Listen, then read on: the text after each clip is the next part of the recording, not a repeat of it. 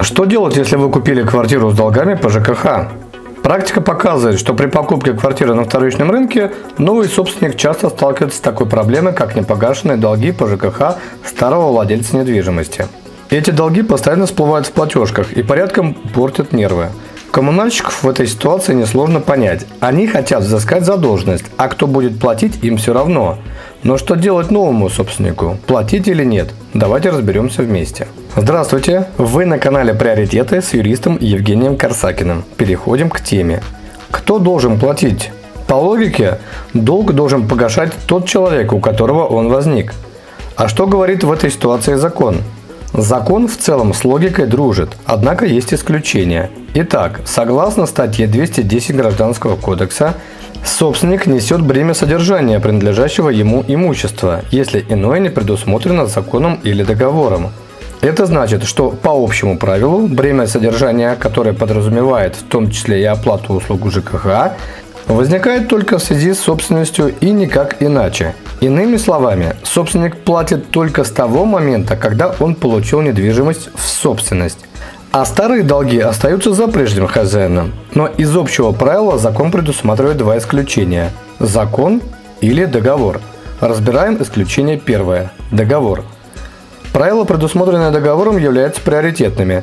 То есть, если при покупке недвижимости стороны договора купли-продажи предусмотрели – что долги переходят к новому собственнику, в связи с чем цена объекта может быть существенно снижена, то так тому и быть. Действовать будет правило, предусмотренное договором купли-продажи. И второе исключение – закон. Статья 210 Гражданского кодекса устанавливает, что некоторыми федеральными законами также может быть предусмотрено, что отдельные долги переходят к новому собственнику. Это правило на сегодняшний день прямо касается долгов по капремонту. Почему долги по капремонту должен погашать новый собственник? Хитрые законодатели здесь применяют другую логику. Речь идет о том, что взносы на капремонт закрепляются не за собственником недвижимости, а непосредственно за самой недвижимостью.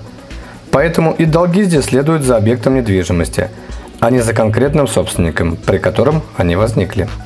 Что у нас в сухом остатке? Итак, мы выяснили, что новый собственник в силу закона обязан погашать только задолженность по взносам на капремонт. Все остальные долги по коммуналке его не касаются. Стало быть, капремонт оплачиваем, а остальные платежки образно отправляем в мусорное ведро или в макулатуру. Разбор полетов с управляющей компанией. А как отстоять свою позицию в спорах с УК? Они как отправляли свои платежки со старыми долгами, так и продолжают их отправлять и списывать долги не торопится.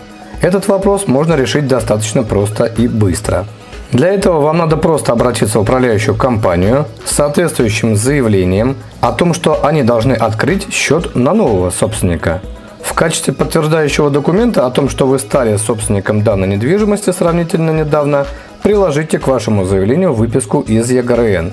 После этого управляющая компания должна оставить вас в покое. Если нет, то можно будет обратиться с жалобой в прокуратуру. Если было полезно, поддержите лайком, подписывайтесь на канал. Я с вами прощаюсь. До новых встреч!